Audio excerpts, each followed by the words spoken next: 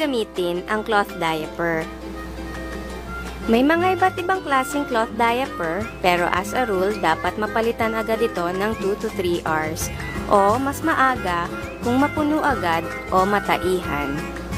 Ito ay isang sample ng one-size cloth diaper.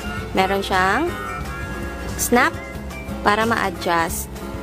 Magagamit to mula newborn hanggang potty training, 3 to 15 kilograms or 8 38 pounds. Meron siyang pang-adjust para sa bewang. At meron din siyang pang-adjust para sa legs. Pwede nyong i-adjust depende sa laki ng bewang ni baby.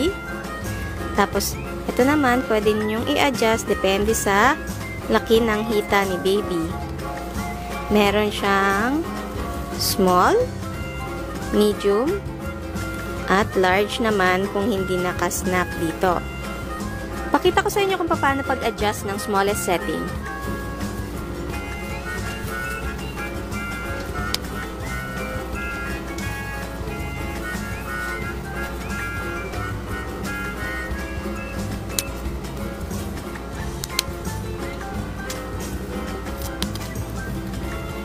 Yan, yung smallest setting.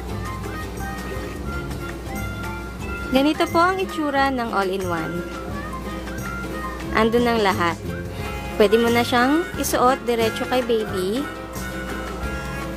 Pagkatapos gamitin, pwede na agad siyang palitan, alisin, at ilagay sa laundry basket.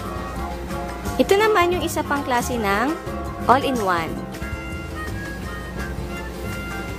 Yung soaker niya ay nakatahi na din, pero na-open siya para mas madaling matuyo.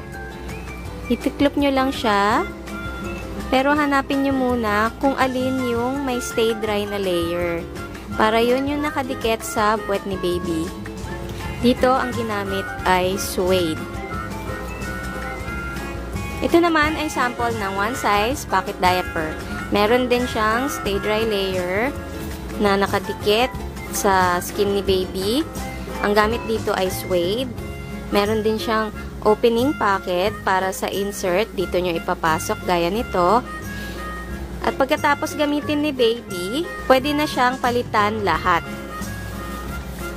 Ito naman yung sample ng cover type. Kung ang gamit nyo ay pre-fold, lampin, or fitteds, kailangan palitan nyo na agad kapag nabasa. Bakit? Kasi hindi naman stay dry ang mga to. Ito, pwede nyo siyang i-reuse ulit. Kung gagamitin naman overnight, pwede rin kayong magdagdag ng booster or insert para mas mag-last ang inyong cloth diaper 6 to 8 hours. Kagaya nito, dalawa yung insert na nakalagay sa loob. For any questions, comment lang po kayo sa baba. And please subscribe to my channel. Thank you!